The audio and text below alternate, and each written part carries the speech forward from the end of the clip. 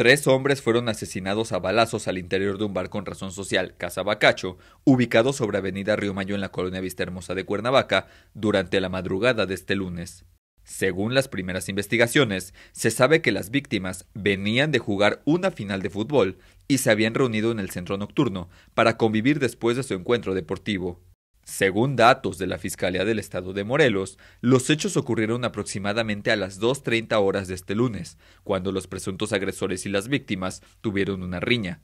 Además, se indicó que también una mujer, cuya identidad se desconoce, fue agredida a golpes. Las víctimas fueron identificadas como Julio César N., de 30 años, Jorge Alonso N., de 40 años, y Alejandro N., de 28 años. Además, otro masculino de 22 años de edad resultó herido por arma de fuego.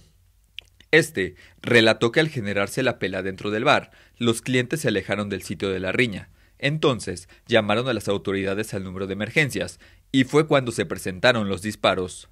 Cabe resaltar que las autoridades de la Fiscalía de Morelos no podían ingresar al establecimiento tras los hechos delictivos, puesto que no se contaba con la presencia del gerente del lugar que diera acceso a este por lo que las diligencias se retrasaron, dejando los cuerpos dentro del establecimiento durante varias horas.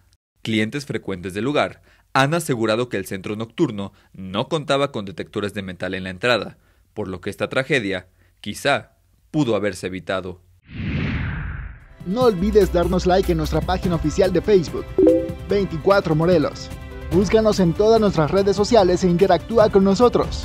Sé parte de la comunidad 24 Morelos.